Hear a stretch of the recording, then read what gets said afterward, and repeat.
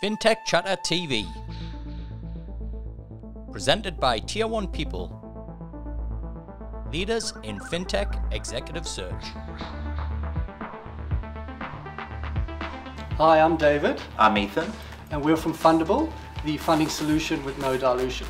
Effectively, we're here to help founders grow their business and scale. If they have subscription revenue, we help you turn your monthly recurring revenue into an upfront annual advance to grow your business. So effectively, we monetize a business's recurring revenue contracts and provide up to 12 months of their revenue upfront instead of waiting to receive it either weekly or monthly. So we allow businesses to do exactly that on attractive terms. There's no other hidden fees or goodies. Effectively, it's a fixed discount on your annual contracted value, which you can then use to scale and grow your business. Our capital is fast. We can get your money into your hands within the week, sometimes in as little as 48 hours. Welcome to FinTech Chatter, the show where I invite guests from the FinTech community to share their stories of entrepreneurship, growing the business, scaling, hiring, and all the other stuff that goes on into starting a startup. Today I'm joined by David and Ethan from Fundabl. Welcome to the show, chaps. Thanks for having us. Great to be here. I'm really pleased to have you because um, what's been really interesting since we started showcasing this next wave of Aussie kind of fintechs is um, it's becoming really apparent that many are, are deciding to move away from the traditional funding model of coming up with an idea, putting together a pitch deck, and then going and trying to raise capital from VC, you know, high net worth investors. So, would you be able to, David, share with us a little bit more about this problem that you're solving? Absolutely. I mean, as I, as I think you've covered it a little bit in your intro, but but that's really it. When you're starting out a business or when you're growing a business, you need to raise capital to keep going, um, and as a result, you often have to give away parts of your business in return. And I think there's definitely a place for that. I think VC is a very important part of the ecosystem. They bring a lot of contacts and information and help and support to founders. But I don't think raising capital every single time should involve giving up a piece of your business. That's very very expensive and problematic depending on where you are. So we believe that the problem that needs to be solved is having additional funding opportunities for founders and, and business owners to grow their businesses without having to dilute. So we're the funding solution with no dilution, there to be something alongside your other capital options when you're growing and getting some success and you just need a little bit mm. more runway or some capital for the future. I'm just hearing the ra- radio jingle now, the funding solution with no dilution. Genius. Ethan, how did you come up with the idea? What were the, what's the background to it? Yeah, well, there, were- Dexter, there was two main sources of inspiration. So, in my previous role, I sat on the investment committee looking at early stage investment opportunities. And I remember one, it was a rainy Tuesday afternoon, and um, two, two founders had come to our offices, and they were obviously looking to raise capital. And they were raising capital, but looking to give away 40, it could have been 45% of its business. And albeit I was sitting on the other side of the table, I, I, I felt sorry for these founders because without this capital injection, they probably wouldn't have been able to keep on doing its business. They weren't, they didn't have any sort of track record or um, they weren't profitable, of course, and they couldn't secure bank debts or any sort of funding on attractive terms. So it was the all equity route, or unfortunately, it was closing up shop. So I kept on thinking that there had to be a more founder friendly funding solution for these for these businesses. Um, and so the second source of inspiration was I had actually told my previous employers that I was um, resigning to work on another business idea. So I took some time off and I actually went up the coast. And whilst I was working on the business idea, which is completely different to, to Fundabl, it was in the influencer marketer space. Um, I um, there was a, I had a personal investment in a software business that had just declared that they were looking to raise um, equity funds, um, which was a little bit disappointing because they weren't able to control their cash burn and they were raising prior to when they had forecast, um, which resulted in myself um, being um, further diluted. And obviously, they didn't hit their milestones to attract that that valuation that they were heading towards. So I thought to myself, this business, they've got contracts with the likes of AXA, Microsoft, Brookfields, these large conglomerates, three, five years out, that it doesn't seem like they're going anywhere. What if you're able to bring forward some of those contracts, extend this business's cash runway, improve its recurring revenues, raise at a high valuation and get less diluted, and everyone's very happy. So um, I guess yeah, there was a few reasons for for starting up Fundabl, but it was definitely a, a staged event. So have, having been in you know kind of own businesses and small businesses for I think two and a half decades now, um, I remember we, we we used to have invoice factoring, which was you know you had an invoice, you'd kind of sell that to the bank, they'd take a proportion of that, and you'd get the money up front. How is Fundabl different to say invoice factoring? It's, it's a great question. I think there are a couple of key points in invoice factoring that are a little different in our model. The first is when you're invoice factoring, you've already provided the service and you billed the customer to pay you for it. So it's effectively a debt that's owing, and you can then factor it by selling it to someone else and saying, hey, give me money up front, and then you can collect from this party when they eventually pay. Mm. But there's no there's no concern that the, the services have been delivered and someone owes you money for something they've bought. Yeah. In our case, what we're actually saying is if you have subscription revenue from your customers, we believe that if we look at the metrics of your business, we can determine how sticky that revenue is. Right. And so we might be saying we will fund you against subscription revenue that we expect in the future based on your track record and your performance, but it's not actually guaranteed. So your customers can cancel on month to month basis, but we'll actually fund you on the assumption that they actually won't because it's so sticky. So then uh, I guess the, the you know the, the kind of type of, of customer startup that you're earning, uh, aiming for is somebody that has a product that's out there generating revenue that customers are, are using.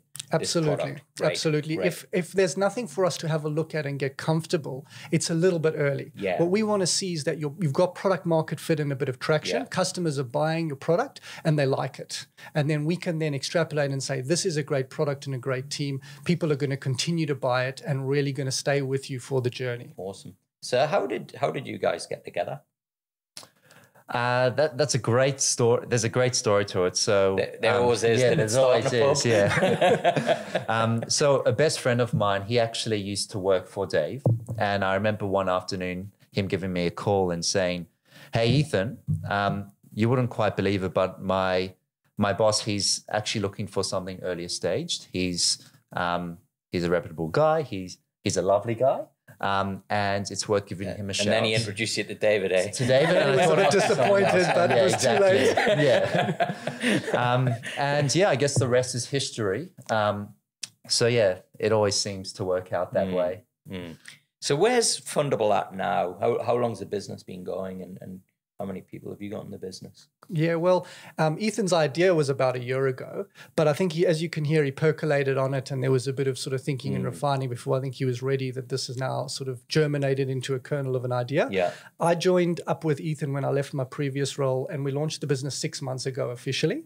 And we spent the first couple of months just getting our process and our product refined, Mm. and also decided we needed to raise capital. We wanted to be in a position that when we opened the doors, we could deliver for customers. Yeah. If they wanted funding, we wanted to be there to support them. So we spent the first three months back end of last year getting that in place, raised capital from EG funds, and so now we're in a position where we've launched the business and we're officially out there, you know, supporting Awesome. customers. So we've got our first pioneer customers. Um, they're all sort of going really well. Um, one of our favorite stories is a customer we funded in uh, February and doubled revenues in March on the back of some of the Wow. expansion that they did. So that makes us feel Yeah. really great about what we're actually doing. Yeah. So validation then for the the Yeah, model. absolutely. Awesome.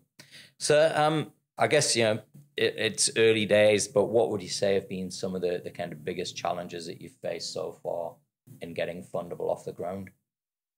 Um, I mean, I'll start, and maybe you can talk a bit about you know the the product itself. But you know, one of the big challenges is track record in all things. We're looking for track record in our clients to make sure we can fund them, and equally, stakeholders of our business are looking for track record in us, and that always creates this catch twenty two. You know, people say to you, "We're very excited. We want to get on board. How have you been doing?" And we sort of say, "Well, we're getting started. This is what's going to happen." And there's always that challenge with the imagination of Yeah. Will it actually happen? So that was a big challenge of you know getting that getting off the ground. People had to have faith in us that this Yeah. would work. And it's a novel product, and it wasn't really functioning in Australia this way. What I guess you know, and it's, this is again one of the kind of great things about the podcast is going back to early stage startups. Is we're kind of back to innovation, you know, doing things that haven't been done before. How did you, Ethan, eh, get people to to invest in in, in yourselves and, and sell the vision? Was, you know, did you go to a particular type of investor, or like did you just how how did you go about doing that? Yeah, so we were very, um, we, we were very um, focused on getting the right strategic investor on board Right. that can help us not just from a potential capital standpoint, from a longevity um, piece, but also being able to actively support, whether that be through introduction to platform in terms of um, in-house resourcing. Um, so it, it the, the process took a little bit longer than we anticipated. It always does cost more and and takes longer than you budget for. Um, but we're very excited to have EG Funds as our cornerstone investor.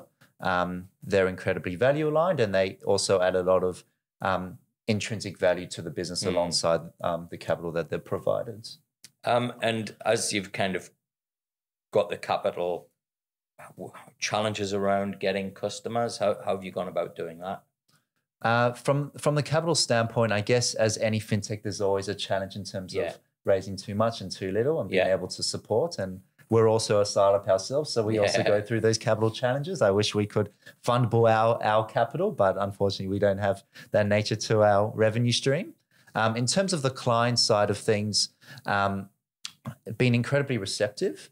Um, I guess when we do meet with clients, the, generally the answer is we get we get it, we understand the needs. Um, we'd love to onboard. There's no cost or commitment to onboard with us. Mm. Um, effectively, we provide them with a trading limit that they can utilize for their business when they when that falls due. Um, so they've been very receptive to the idea. Um, the other response we're generally getting is, yep, get the idea, love the model. Not Mhm. quite for us at this moment, but would love to touch base in a couple months' Yeah. time um, when we're looking for a little bit more of a funding Yeah. source to bolster distribution efforts or to extend runway, or they're heading towards a, a capital raise and they want to hit Yeah. their milestones. Wh- That's Sorry, a yeah. that's a great thing about our product. Is fundamentally we're approaching clients to say we're offering you something that is actually a solution for you, and that's that's when they come back to us and say either not now or yes please. Yeah. And so we don't actually have any negative never negative responses where people say we would never want that or we don't like that. It's sometimes just we've got a lot of capital raised already or almost profitable, so maybe in the future. So that's really great for us mm. because we know that we'll be able to help them along their journey throughout. The other thing is obviously the startup and and and and growth community in Australia is really really close. And so as long as you have the customer at heart and really trying to do the right thing at all times, there's a lot of positive externalities in the community to bring clients to us that sort of make that match for us. What was that moment like when you got your first client? Magical. Oh, yeah. it was magical, seriously. Um, incredibly rewarding as well, as Dave mentioned. I mean, one of our initial pioneer clients have managed to double their revenues Yeah. in the space of one month of accepting our funding source. So um, I guess we're a team of very passionate um, supporters of the Australian tech ecosystem. Mm. And it's incredibly rewarding to see already some of the success stories Yeah. and um, yeah, looking forward to growing with our clients. But I'm sure, like all things, that moment when you take the theory and the practice Yeah. into reality is just so unbelievably cool because, you know, you talk about it ad nauseum, days, nights, Mm. weekends. This should work. People should want it. This is how it will Yeah. happen. And then when it actually does happen, it's like a little bit surprising, but Yeah. also just, you know, amazing. Yeah, and, and look, I think one of the things that I really like about what you're doing and, and how you're going about this is you're very much the kind of lean startup approach to just get the product out into the hands of customers and let them validate your idea rather than you know surveys and all this other stuff that people just tell you what you want to hear, right? That's exactly right. I mean, we can we can go out and blow the bugle about how great our Yeah. product is, but if our client can say that for themselves, then it's yeah, that that's the best validation you can really give. But that's the, you know you have to. Uh, it's a very sort of common saying out there these days. It's almost a cliche, but if you're not embarrassed about version 1.0 of your product, you're Mm. probably too late. I think we definitely subscribe to that thinking. The reality is. Um, our product does have the features we think resonate, and at the end of the day, customers are going to tell us what they like and don't Yeah. like, and it's up to us to then quickly adapt and make sure that we refine our, our product. So you guys first time founders or Have you had a stab at being a founder in the past? I'm a first time founder. Uh, this is my second sort of official go around. My previous role was at a non bank lender called Credabl. Right. And I was there at the beginning when we, we started up that business. That was also a niche focused capital solution, mm. actually, to the medical profession. And so I learned a lot about how to focus narrowly on making sure that your product fits your clientele. And obviously, customer service is at the heart of it. Yeah. A lot of people said to us, How will you compete with other more established options out there? And the, the reality is, as long as you look after your client at all times, that really is a big mm. competitive advantage. Yeah. Um, what advice have you got for first time founders? I guess look, you've you've done it now, right? So you kind of you, you're one of the very few that now are kind of legitimately can can provide advice. Um, what would you say is the thing that you've learned the most on this journey so far, Ethan? Um, I probably have two pieces of advice for founders. One being there's generally a more optimal capital stack for for your business. Um, I think the all equity funding route is yeah. very much past our days. And um, firstly, in terms of raising an alternative funding source and maintaining your equity, is also providing a vote of confidence not just for your investors but also for your internal stakeholders, mm. employees, that you'll be there for the for the long yeah. run, and you won't lose your incentive, and you won't lose control of your business and just become an employee themselves. Um, Another piece of advice I, I, I generally give to founders is that uh, not to be too fixated on the valuation, but choose the capital source that will best support your business and will mm. grow with you. Um, I guess how we provide our um, our funding source to our clients is we're very much in there to grow with our clients as they grow, we want to grow with them and, and increase their limits and increase their funding opportunities mm. through Fundabl. Um, so, not to be too fixated on the valuation, choose the preferred capital partner yeah. that you can grow with. Yeah. And David, what, what what advice have you got for other founders that are or people that are thinking about going out and Absolutely. on startup. There's so many considerations, but I think a really important thing that helps me is to think about it as a marathon and not a sprint. Mm. Like Ethan said, if you think short term or wins and losses, uh, it's very easy to lose sight of whether you're actually succeeding. So I think having the the stamina and to try and stay balanced through the very volatile ride you're going to go on is really important. Mm. I think the the highs are really high. The lows can be much lower than normal traditional style corporate jobs where there's a lot more stability. So I think being able to take those sort of knocks on the chin with with with perspective and understanding it's all part of the process really really helps you have that stamina to get to the other side. Mm. Now, Ethan, we were at the FinTech Australia meetup last night I think I got asked about eight times by people if I could help help them hire and find developers and engineers. Yeah. it's not our, it's not our thing, you know, or customer success managers or whatever. It's not our thing. But obviously, you know, the the challenge for talent is, is a real one. How is Fundabl gone about bringing in the caliber of people that you you know absolutely essential to get something like this off the ground and, and become successful? Mm firstly, how cool was that that catch up last yeah, night? Yeah, it was nice really to nice finally all be yeah, in person see, and yeah. meet face to face um, rather than these Zooms and Teams calls. I think we've all had enough of that. Yeah. But yeah, definitely agree. There's definitely a tech crunch out there. In terms of how we generally approach our our our talents and um, what we look for when we do look to hire, it's definitely looking for um, individuals that are hungry, humble, and and people smarts.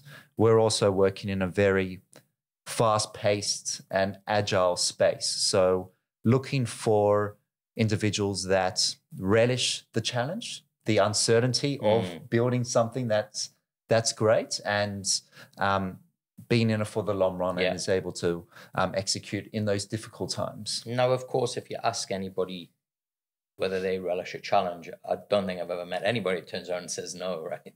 How do you assess, David, you know, people who ha- actually have those qualities versus thinking that they have them or just stating that they have them? That's a, it's a really it's a really great question. I think we really have moved away from the concept of show us your resume, tick boxes on experience, and then try and extrapolate that into our business. The way we've sort of done it is first of all, we want to get to know you. So we mm. try and spend time with potential candidates outside of the office, sometimes outside of business. Yeah. You know, we've caught up with people over lunch, we've caught up with them over sporting yeah. events. At, at, and and basically that's a natural environment yeah. where you can get some of that sort of authenticity. The other thing that we try and do is we, we're sort of quite good about it, I think, in terms of this, the continuum. I think we know there's certain confidential things in our business, but at the end of the day, our product isn't supposed to be a secret. So we've oftentimes said to people, if you're interested in potentially working with Fundabl, come hang out with us. Yeah. We're an authentic group of people. Come spend time in the office, look at what we're doing, show up at some of the events we go to and see what we do.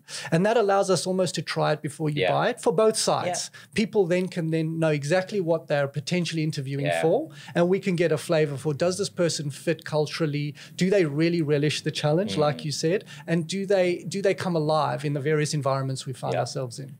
But I actually had this very same discussion maybe about three weeks back. UK DIT invited me to a breakfast. They had leaders, you know, fintech leaders from the UK, Australia, and talent was the number one discussion. And they asked my opinion, was a kind of talent expert there. And I, I basically said exactly what you just said there, David, which is, you know, the process that most businesses have for hiring was developed over 100 years ago in the Great Depression when you had literally lines a mile long of people with resumes begging for a job. And we still have the same process, right? There is not a mile of people begging for a job out there. And I use the analogy of a date, right? Imagine going on a date and somebody sat there with a clipboard saying, uh, Can you give me an example of when you've split up with someone? How have you dealt exactly with, how have you That's dealt exactly when some, you found somebody's been cheating with you? Would you Um, ever yeah, cheat? Yeah, exactly. and then, um, how much money do you earn? Can I have the names and numbers of two, ye- two of your exes? And uh, by the way, if I'm interested, we'll do this again. I'll bring along a mate and we'll ask the same Yeah. questions. and then after that, we'll move in together. You'd be like, you wouldn't be going on the second date, right? So, so what you've said there about that process, I absolutely, you know, I've been saying this for the last five years. It has to be this almost kind of courtship you know, Absolutely. relationship. That's what you're entering into is a relationship, right? And the strength of an organization is the strength of its relationships. And that point on relationships is a really applicable one for our stage of the business.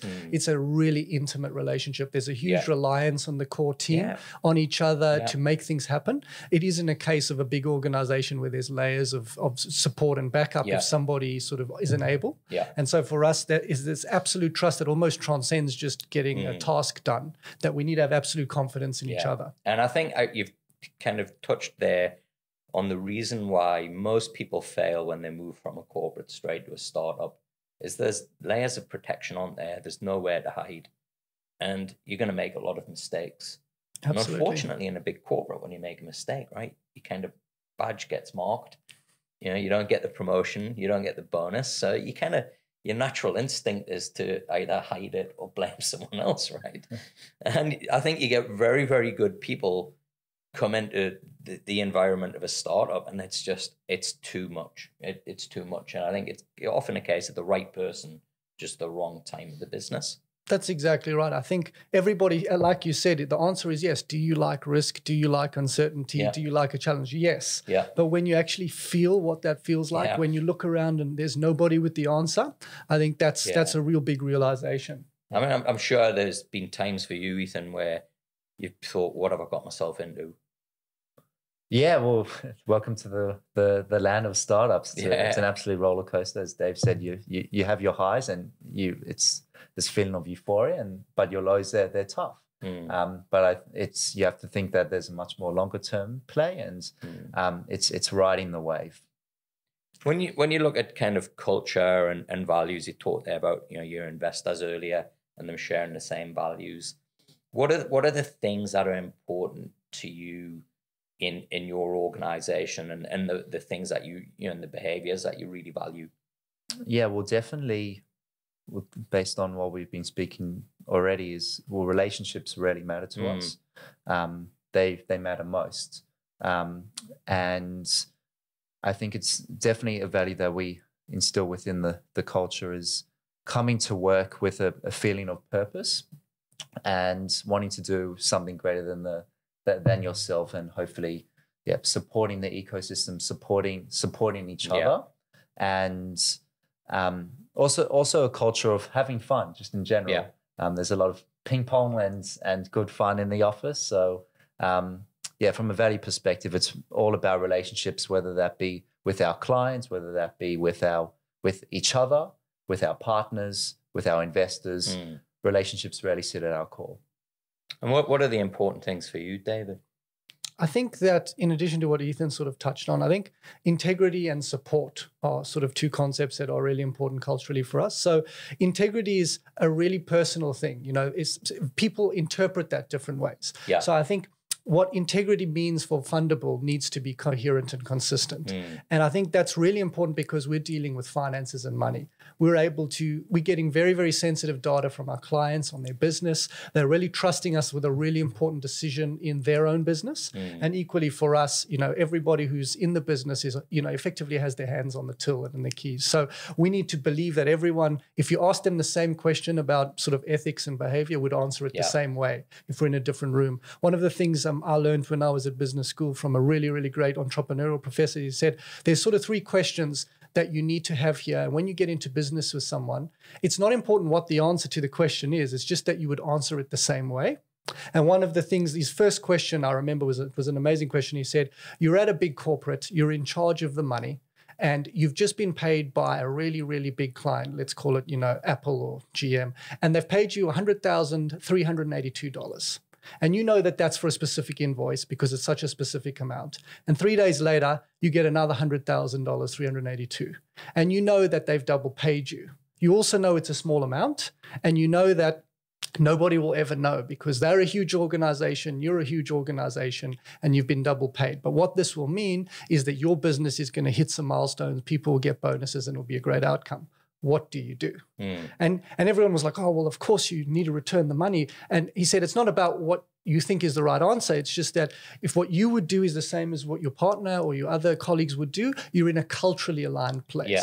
And so I think we all know what the correct answer we think is for that question. Yeah. But it's those kind of things that you can really come to see that you're with people who are heading in the same direction as you. Yeah, I've got to stop myself here because we're, we're going to go down a rabbit hole, right? Where, because it, I absolutely agree. And I think, um, you know, there's even a lot of scientific research out there that will show that if you get people who will say, yeah, that's how I am in integrity wise, once they see one person get away with it, It's, it's, kind of unravels right. very Yeah, quickly. Yeah, and I think it's such a uh, you know it's such a powerful kind of um, you know lesson on leadership is that you know whatever the CEO kind of tolerates, the leadership tolerates determines the culture, not this, Absolutely. the words that you've said and the values. So I think that's an absolutely incredible example. I think it's uh, And look, for me, you know, putting it into actual practice, the moment that I knew that Ethan and I had that alignment and we could therefore instill it in our organization was Ethan showed up to one of our earlier meetings. He was a little bit frazzled. I said, What's going on? He said, Well, I was driving along on the way here and I clipped somebody's side mirror. And, you know, that was very upsetting. So I said, Oh, well, what did you do? He said, Well, I got out the car and I looked at the side mirror really carefully. I looked at my side mirror and I couldn't see a scratch. And I was like, oh, that's very lucky. That's wonderful. And he said, yeah, but I just, you know, I was in a hurry and I wasn't sure. So I wrote my name and put it on the guy's windscreen and just said, here's my number. I've hit your mirror. I don't see any issues, but if there is, please call me and Yeah. we'll sort it out. And the guy actually called him and said, thank you so much for being Yeah. honest. Let's have a beer. But in that moment, I'm hearing from somebody, someone who's chosen to do the right thing with no requirement. The, the universe and the world would never know Yeah. otherwise much like that this, the, that example I gave earlier. And that for me was putting into practice. Here's a person Yeah. whose integrity aligns with my own and I can trust. Yeah, absolutely. Now, um, we were talking about ecosystem very briefly, um, but I want to talk about that a bit more. And it's, there's a couple of things that I want to kind of cover, which is first of all, as I mentioned, you know, we're, we're showcasing earlier stage startups on the podcast this year. What's been really refreshing for me is if I think back to last year, pretty much everybody who wanted to be on the podcast was doing another BNPL, you know, BNPL for recruitment fees, BNPL for home loans, which I, I thought were mortgages, but, right, but it, it was it was just I couldn't take it anymore. And uh, yeah, what's been really refreshing to go back to kind of real early stage startups has been you know that that kind of return to innovation, right? Where we were with Afterpay and Zip five six years ago. Um, what was really kind of and, and you know you guys are an example of this what I'm really excited about is how now we're finally having the kind of credit models tipped upside down and it's creating new products. Because in fintech, we've not really seen new products. seen a lot of kind of innovation to make things faster, slicker, cheaper to, to deliver, but we haven't really seen new products. Um, what's what's your sense, first of all, Ethan, as to you know where you think we're at here in Australia with, with in terms of innovation? I might ask Dave to if you want to. Yeah, look, I think in terms of innovation, I think there's a lot of innovation in the startup community. If we sort of move it straight into fintech and sort of apply Mm. it to our space, there's a lot of innovation as well. But I moved here from the States um, where I was living previously. And I remember being struck, this was 10 years ago, with there's a lot going on, a lot of parallels here in Australia. But some of the things just felt a little bit behind where I just come from. And then I started to see things like Afterpay and Zip and see people bringing models that weren't essentially brand new. I mean, Yeah. you, you, you, I heard about it all the time it's just lay-by. But at the end of the day, it was innovative because of the way they applied a concept. Yeah, And I think that's now really starting to happen in, in a more structured way. Like you said, instead of just saying, oh, well, BNPL is great, let's BNPL something else, people are looking and saying, what isn't being done well? Is there a whole group or an industry Mm. that's being left behind or underserved? And how can we do that better? And I think that's now really starting Yeah. to happen in a big way. I think there is still a bit of a lag, some of the other markets, but but that's Yeah. really great to see. yeah. I think what kind of excites me about the approach that you guys have got, and you know, I think we're going to start to see this applied to things like home loans. Um, I mean, particularly for consumer debt, where you know we, we can't rely now on people having a job for life, and you Absolutely. know, they, they, you know work, people are working four days a week, three days a week. People are doing six month stints somewhere. People are having their own business. People are going out and being influencers. Hmm. Yet the you know, credit models are all based on somebody having a regular job and a regular income. Um, what I really like about your model is, you know, you've gone, hey, we're going to look at the propensity to fulfill, you know, the the, the kind of the debt, right? Mm. And looking forward rather than looking historically. Mm. How how have you gone about doing that? Because obviously that then requires a different model. That requires, I'm, I'm assuming, you know, you're gonna have to get access to data that you know isn't just there with a credit agency. How how do you go about doing that? Yeah, well, you're right. Effectively, we're creating a, a new asset class. Yeah. It's a fixed income like product Yeah. that's effectively securitized off the back of a recurring nature to a, a revenue stream. Um, in terms of the our credit engine in the background, we're, we're looking at a, a variety of metrics um, to be able to underwrite our clients. Mm. Um, and um, it- it's interesting you say, as in we're, we're taking it, the actual model itself, it's nascent. However, it's still applying similar sort of practices that have been used for many other many other types of business. Mm. So if you're looking to underwrite a, a, sa- a, saf- a software business, as an example, there's Yeah. generally your 15, 20 odd metrics that you Yeah. would use to um, look at a SaaS business that we're, of course, using. Uh, But I think it's applying a different sort of mindsets Yeah. to to looking at these sort of businesses rather than those that are heading towards the ground, but rather they've got the ability to really grow and scale. Mm. I think I think your your point is right. It's certain other you know credit models said you need to have a job for life, and then we just look at three paychecks and extrapolate Yeah. that. Yeah. And then that really worked for a long time because that's how the world functioned. We're not sort of saying don't have a paycheck now and we'll still lend to you. Yeah. We're saying, like you said, maybe that paycheck or that income stream looks different, Yeah. but is actually in the same risk band as what we used to think something else was. So th- that's what we sort of looked at. We said a recurring revenue stream from clients that are very creditworthy with a sticky product has inherent value. Mm. And we can try and look at metrics around that and say, are we going to be able to advance capital against this in a in a safe way? Mm. And so what is required is looking at traditional methods of calculating things, but applying different weightings Yeah. and different value on performance uh, according to our understanding Yeah. of what a good business in our space looks Mm. like. And I think, like you said, a lot of the traditional models out there haven't been updated Yeah. for how businesses today look and feel. And so there's a vast swath of companies out there that don't look risk, uh, don't look um, safe. But in actual fact, if you really dig in, you can see there are ways to provide credit in a way that isn't going to Yeah. blow blow everyone up. And it, it- you know, as you pointed out, right, you, you could have AI doing that same thing, but without the context, it then becomes really dangerous, right? Because Absolutely. Yeah. It does what you tell it Yeah. to do, right? So at some point, someone's got to say, what do we want it to look at and what do we want it to tell us based on what it finds? And, and because ours is new, we're effectively looking at it and saying, instead of looking at three paychecks and extrapolating out, look at this revenue contract, find these other items, and then extrapolate Yeah. that. So there's a lot of sort of uh, investment from our perspective in understanding the types of clients we're doing to make sure we can sort of Mm. tweak it to be accurate. So Ethan, um, other than the free return to free pizza and beer, what's got you excited about the Aussie fintech scene right now? Um, well, there's definitely been some incredible businesses out there that are definitely taking a stance on on it within the ecosystem. And but I might just share one business that's definitely well, two businesses that have definitely caught my attention and got me the most excited, which are which you might think is quite humorous in a way, um, which is piping and Capchase overseas, um, which have very similar models to us. Um, but it's been quite exciting on our end to just see the the take up that's been um, that's been taken up by by businesses um, in those US markets. Yeah. So Pipe, as an example, they've already onboarded eight thousand odds clients onto its platform. They were the fastest growing fintech globally to hit Yeah. unicorn status. So for us, it's very much proved a point that we've always known that is recurring contracts are very valuable and that they should be tradable. Yeah, And it's provided us with validation that um, what we're working towards is very exciting.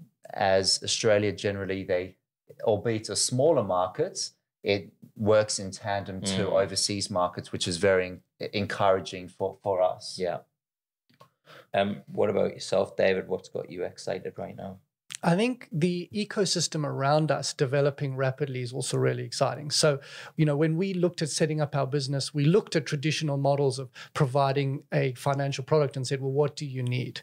And the reality is now there's so many great fintechs all around different problems Yeah. that can actually work with us and help us. So, for example, when we looked at our compliance function and said to ourselves, how are we going to make sure we do this correctly? Before you might have thought, can I have, do I have someone with the com- compliance expertise or who's going to read the regulations? Now they're fintechs that are amazing at actually helping us do what we need to do from Yeah. a compliance perspective. And instead of um, needing to go and sort of upskill ourselves in something that's not our core skill set, we're able to work with them, partner with them, and and and sort of Mm. work that way. And that extends beyond just compliance. It's the way our payments work, the way our capital flows. We're dealing with a number of service providers who themselves are fintechs, Yeah.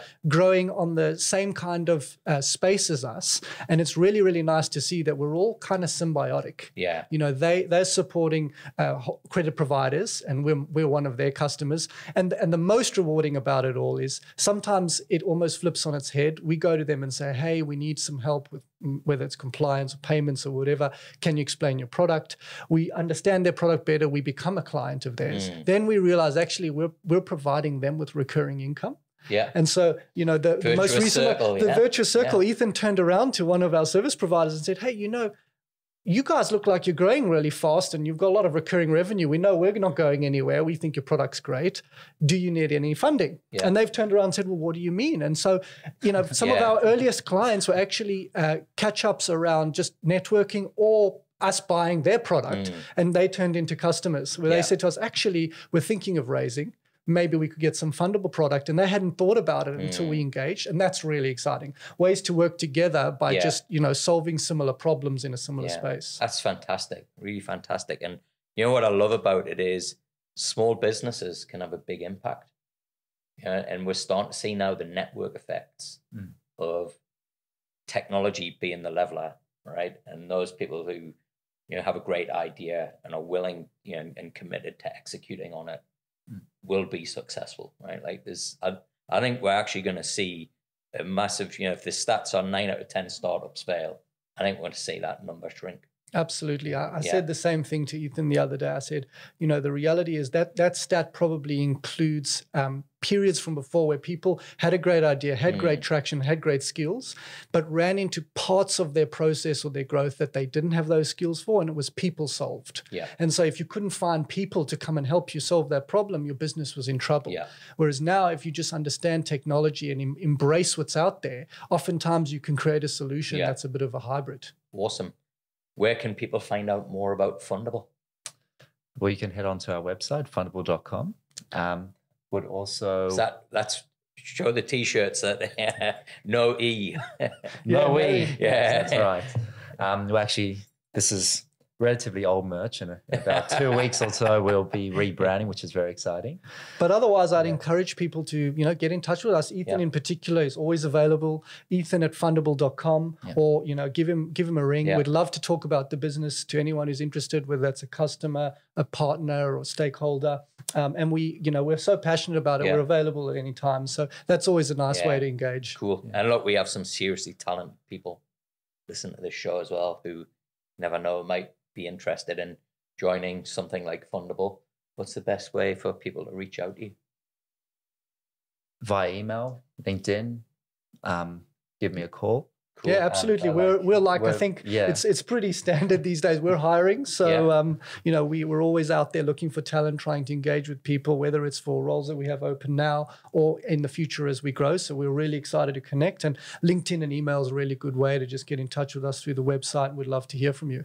Awesome. Well, chaps, it's been great to have you on the show. Folks, um, show your support for Fundabl and all the other great shop startups that we're showcasing on FinTech Chatter by giving us a like and subscribe. Until the next show, stay safe. FinTech Chatter TV. Presented by Tier 1 People. Leaders in FinTech Executive Search.